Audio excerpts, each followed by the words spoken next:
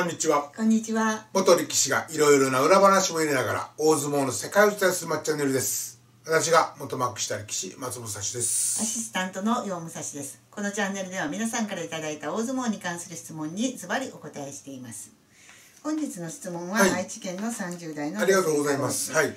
力士の出身地は何を基準にしているのですか、うん途中で出身地を変える人もいますがなぜでしょうか？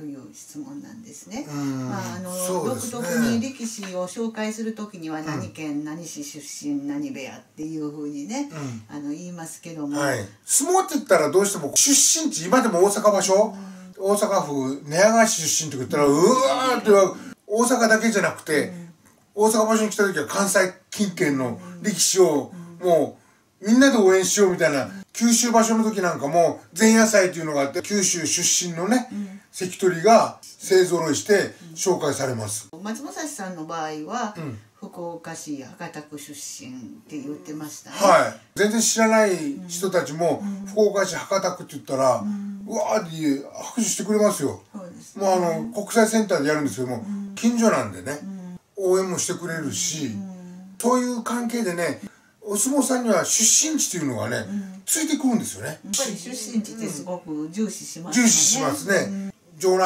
アナウンスで言われることに嬉しかったです。ああ福岡市博多区出身、うん、それは自分で届ける感じもですかね。う届けるとかじゃなくて、入る時に、はい。そういう書類的なもので、福岡っていうのをあの提出はするんですけど、それをあのこれをあのアナウンスの出身地で使ってくださいそういうことは言わない。もう日本はい。時間は、例えばあの今の錣山親方前親方のね寺大阪鉾兄弟とかも、お父さんが関取ですので、はいはい。まあ、東京育ちですよね。だけうんどもそうでしょ？だけども、鹿児島県愛良郡出身って言ってましたよね。言ってました。当時はねはいはいああいうふうに実際には東京だけども、なんか故郷を出身地にしたりすることは自由なんですかね。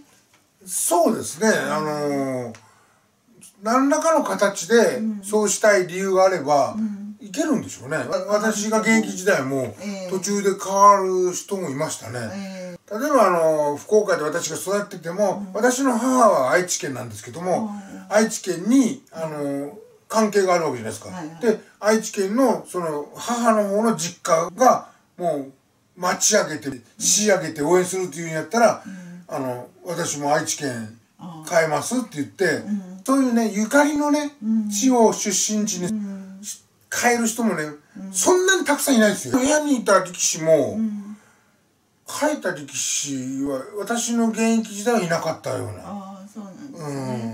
そしたら例えば、まあ私は大阪市の東住吉区で育ったんですけども、はいはい。今現在は平野区なんですね、はい。はい。そしたらもし私を紹介するなら東住吉区出身って言ってもらっても平野区出身って言ってもらってもはたまたねは福岡市博多区出身って言ってもらってもこれは自由っていうことなんですかね。なんでしょうね。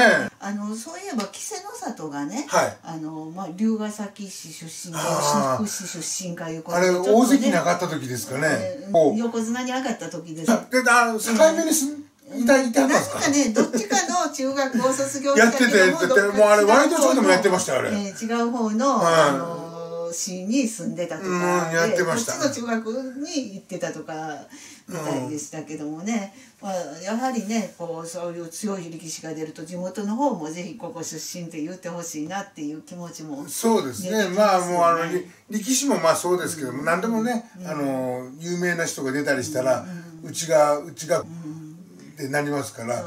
まあ、いろいろなね、もう品物でもその、うちが元祖や、うちが発祥地やっていうね、ねそうですね。でもねあのこんな話知ってますか？十両で千秋山っていたじゃないですか。あ、はいはいはい。あの人堺の出身なんで、はい千秋山ですけど、はい。その前はね諏訪錦って言うたんですね。それはあの堺の諏訪の森っていうところの出身なんでありますね、えーはい、それで諏訪錦ってしてたんだけども、うん、巡業に行ったら長野県で諏訪錦って言われてわーっと拍手が起きて ちょっとねちょっとこれも照れくさいですよね、うん、そんなこともあって先週山に帰ったいうエピソードをなんか私読んだことあるんですよね。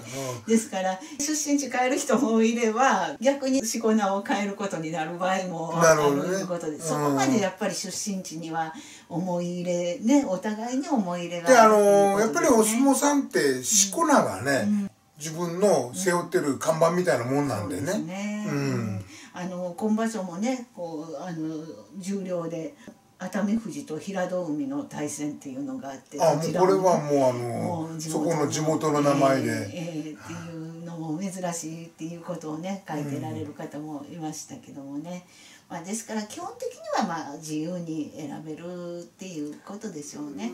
自由に選ばれるし、うん、またこう自分の出身地なんでね、うん、そんなに自由すぎても自分になんか恥ずかしいじゃないですか。えー、やはりこうゆかりのゆかりがあるしこれから先ねまあ大場に言うとそこの,、あの出身地を背負うぐらいの気持ちで放送されるんで。そうですね、はい、いかがでしたでしょうか？まチャンネルでは皆さんからの質問をお待ちしております。ぜひお寄せください。